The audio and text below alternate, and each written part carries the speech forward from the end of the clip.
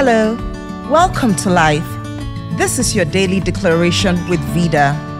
The entire world was created by the spoken word of God.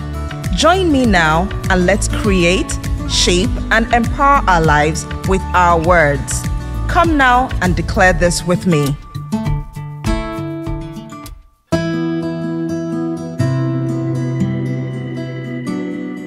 Today, I insist that all career stagnations, marital stalemates, financial standstills, ministry holdups, business frustrations all fade away into nothingness at the proclamation of the name of Jesus Christ.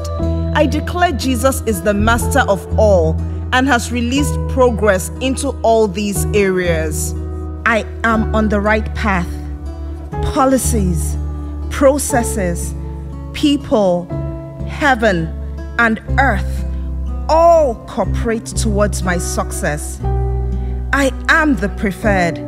I am the selected. I am the appointed. I am the empowered. I believe these things that I have declared, and they have happened to the glory of God. In Jesus' name, amen.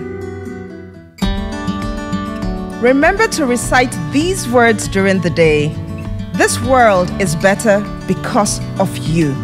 Thank you, and let's do this again tomorrow. God's love and mine, Vida.